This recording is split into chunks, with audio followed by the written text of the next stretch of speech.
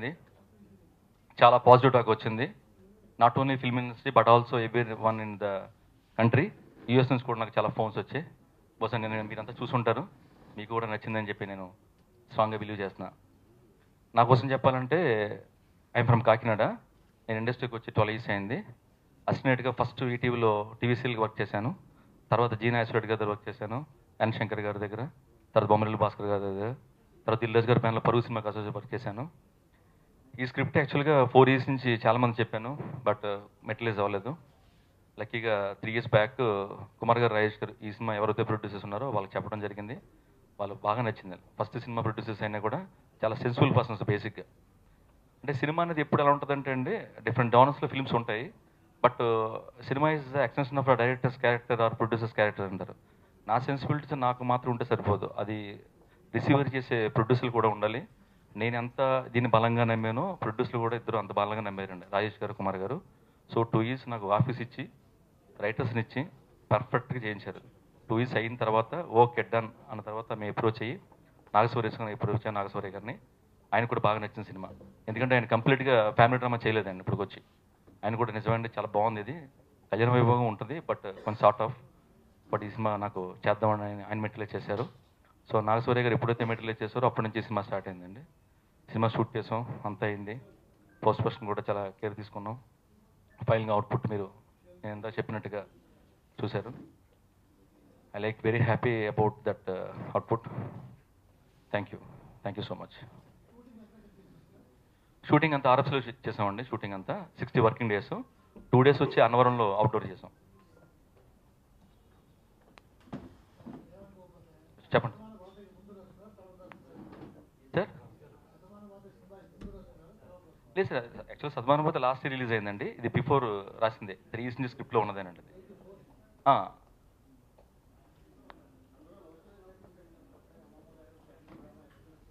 Good question అండి. యాక్చువల్గా నాదే లవ్ స్టోరీస్ కూడా ఉన్నాయండి. రొమాంటిక్ కామెడీస్ కూడా ఉన్నాయి. బట్ నేను నమ్మేది ఫ్యామిలీ డ్రామా ఏంటంటే బేసిక్గా ఐ బాగుండ్ జాయింట్ ఫ్యామిలీ మన హ్యూమన్ బీయింగ్స్కి అది ప్రపంచంలో గ్లోబ్ మీద మనిషి వాళ్ళు ఎక్కడున్నా కూడా whether it is a boy or girl ఆ హ్యూమన్ టచ్ అనేది ఎప్పుడు ఉంటుంది. అది హ్యూమన్ ఎమోషన్ అనేది no barriers for any one బాగుంటుంది ఫ్యామిలీ డ్రామా అని చేయాలని తప్ప ఏదో రిస్క్ ఉండదు. ఫ్యామిలీ డ్రామాతో పాస్ అయిపోతాం అనే ఆ ఉద్దేశంతో మాత్రం అసలు చేయలేదు అసలు. బేసిక్గా నాకు ఇష్టం. హ్యూమన్ ఎమోషన్ అంటే చాలా ఇష్టం నాకు. చూడండి అంటే థ్యాంక్ యూ థ్యాంక్ ఒప్పుకుంటా. ఎందుకంటే ఫస్ట్ ఆఫ్ అంతా సెటప్స్ ఉంటాయండి. ఆ సెటప్ స్ట్రాంగ్గా చేయలేదు అనుకోండి సార్ మన హండ్రెడ్ హండ్రెడ్ ఫ్లోర్స్ వేసినా కూడా ఫౌండేషన్ సరిగ్గా లేదనుకోండి కంప్లీట్ కొలాప్స్ అయిపోతుంది so what you set is hundred percent right అవునండి. అంటే మనకు తెలిసిండే రావు గోపాలరావు గారు ఎన్టీ రామారావు గారు నాగేశ్వరరావు చాలా పెద్ద పెద్ద చిరంజీవి గారితో బాలకృష్ణ గారితో అందరితో చేశారు. రావు రమేష్ గారు ఆయన కనిపిస్తుంటుంది. నాకు రావు రావు గోపాలరావు గారు రావు రమేష్ గారు విపరీతం రెస్పెక్ట్ అండి. So he has just justified hundred percent అండి రమేష్ గారు. సార్ హీరోయినా సార్? నచ్చింది సార్ నిజంగా అండి. ఏంటి ఎందుకు నచ్చింది అంటున్నారు? అంటే ఒకటండి ఇది నిజంగా మీరు అన్నదే ఇది లవ్ స్టోరీ కదండి సినిమా. రోమ్కామ్ కాదు complete family drama. So family drama అయితే ఎక్కువ ఫోకస్ చేద్దామని తీసుకున్న తప్ప కంప్లీట్ లవ్ స్టోరీ అంటే మీరు అన్నట్టుగా వచ్చు. బట్ ఫ్యామిలీ కూడా అందరికీ తెలుసు తెలుగు అమ్మాయిల గర్ల్ నెక్స్ట్ డోర్లో ఉంటుంది అని తీసుకోవడం జరిగింది. థ్యాంక్ యూ అండి శకల శంకర్ విషయంలో క్రెడిట్ ఇవ్వచ్చండి. నేను ఆన్ పేపర్ ఏం రాశానో అది ఆన్ స్క్రీన్ శంకర్ చాలా బాగా చేశాడు. శంకర్ శకల శంకర్ చాలా బాగా చేశాడు చాలా పాజిటివ్గా ఉందండి. ఇది ఏదో నేను కెమెరాలో ఉన్నాయని మైక్ ఉందని చెప్పట్లేదు. మీరు ఎవరు అడిగినా జెన్యున్గా అడగచ్చు. చాలా మంచి ఫీడ్బ్యాక్ ఉంది. ప్రొడ్యూసర్ కూడా బాగా నచ్చి పబ్లిసిటీని ఉన్న బడ్జెట్ కన్నా క్రాస్ చేసి ఇప్పుడు నెక్స్ట్ ఫోర్ డేస్లో చాలా రేజ్ చేశారు. ఈ విషయంలో మా పిఆర్ఓ సురేష్ గౌడ్ గారు కూడా డే అండ్ నైట్ బాగా పనిచేస్తున్నారు నేను థ్యాంక్స్ చెప్పాలి ఫస్ట్ ఎస్ అంటే కంప్లీట్ కంటెంట్ మీద వెళ్దాం అనుకున్నానండి. సాంగ్ వచ్చింది డిస్టర్బ్ అవుతుందండి మీరు అబ్జర్వ్ చేస్తే టూ సాంగ్స్లో కూడా స్టోరీ రన్ అవుతుంటుంది చూడండి. స్టోరీ చెప్పాలి కథ చెప్పాలి జెన్యున్గా చెప్పాలి. అందులో ప్యూరిటీ ఉండాలి. ఆడియన్స్ ఖచ్చితంగా యాక్సెప్ట్ చేస్తారని చెప్పి నేను స్ట్రాంగ్గా బిలీవ్ చేశాను సాంగ్ డిస్టర్బ్ అవుతుంది నేను పెట్టిన తప్ప వేరే ఉద్దేశం కాదు. బేసిక్గా I like the music very much.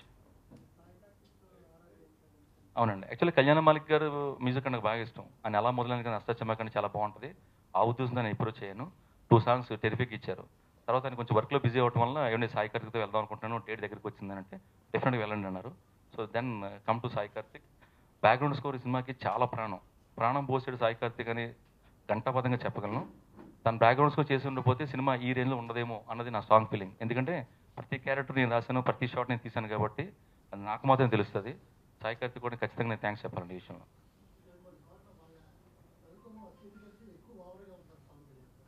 Sound అండి? యా అది థియేటర్ ప్రాబ్లం సార్. నేను ఒప్పుకుంటుంది. అది మీరు వేరే థియేటర్లో చూస్తే ఉండదు. అది కొంచెం థియేటర్ ప్రాబ్లం వల్ల చాలా సౌండ్ డామినేట్ చేసినట్టు ఉంటుంది. అది ఓన్లీ తక్కువ థియేటర్ మీరు చూసిన థియేటర్ అయి ఉండొచ్చు. హండ్రెడ్ పర్సెంట్ మిగతా అన్ని థియేటర్లో బాగుందండి. ట్రూ మీరు చెప్పింది. నేను మా ఫ్రెండ్స్ బ్యానర్ కట్టదని బ్యానర్లు కట్టారండి. మరి సినిమా ఇట్టింది అది కడదాం ముందు కట్టి సినిమా సరిగ్గా ఆడకపోతే అదో ఫీలింగ్ ఉంటుందా నన్ను కట్టారు దేవుడి దేవుడు సినిమా ఒకటి ఇట్టింది ఐ ఫీల్ వెరీ హ్యాపీ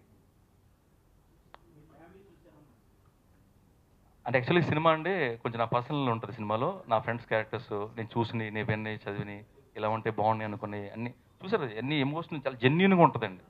అది రావు రమేష్ గారు కానీ శివాజీరాజు గారు కానీ హేమ గారు కానీ శౌర్య కానీ శ్యామిలి కానీ ఎస్పెషల్లీ సుమిత్రి గారు చాలా బాగా చేశారు. మా ఫ్యామిలీలో అయితే కొన్ని కొన్ని క్యారెక్టర్ నేమ్స్ క్యారెక్టర్స్ కూడా వాళ్ళే పెట్టేశారు. అన్ని జోనస్ లైన్స్ ఉన్నాయండి. కాదండి డైరెక్ట్ నేను డైరెక్ట్నే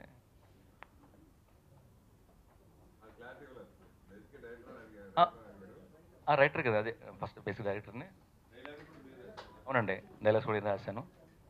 విత్ డైలాగ్లో నాకు హెల్ప్ చేసిన రాజేష్ రాయ్కి చరణ్ అరవింద్కి థ్యాంక్స్ చెప్పాలండి. Thank you sir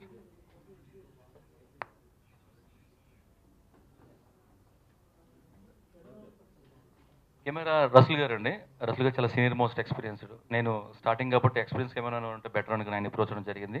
ఆయన చాలా హెల్ప్ చేశారు. ఎటువంటి ఈగోలు లేకుండా నేను ఏ షాట్ చెప్తే షాట్ లేదు రాదు వద్దు అని అనకుండా చాలా బాగా కోఆపరేట్ చేశారు రసుల్ గారు.